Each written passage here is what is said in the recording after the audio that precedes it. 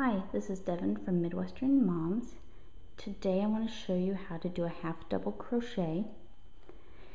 Now when your pattern asks or says that you need 10 half double crochets to start your work, what you would need to do is actually chain 12. You need to do two extras. So to start your half double crochet, you will yarn over and go into the third chain from your hook. Go in the top of that, yarn over and pull through to make three loops. And then you yarn over and pull through to finish your stitch. You yarn over, go into your next stitch, yarn over, pull through to make three loops, and then pull through. And you just keep repeating this until you get your first row done. And I will finish this here so I can show you how to oops, how to turn your work.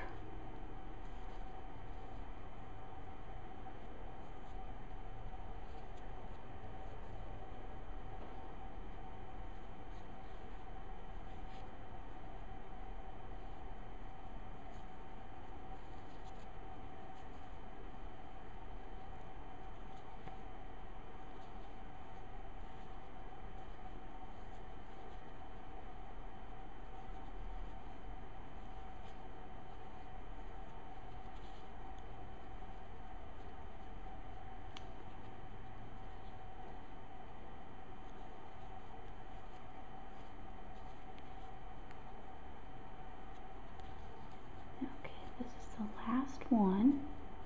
Okay, you have your first row done. So what you do now is you chain two, and then you turn your work around, and just like how we started, we go into the third chain from your hook. So you yarn over and go through the top of that stitch and make sure you get both of those loops on there. Then pull through to make your three loops and pull all the way through. And then you just keep repeating. If you're looking for a project to practice this on, I have a super simple uh, dishcloth uh, pattern for free on the website. I will leave the link to that pattern in the video description. Feel free to check it out and practice your half double crochets. If you have any questions, please feel free to leave me any questions or comments and I will try to answer them for you.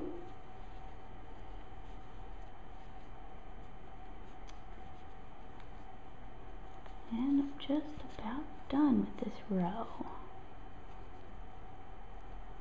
It keeps curling on me and getting in the way here. And there you go. You have two rows of half double crochets. Thank you.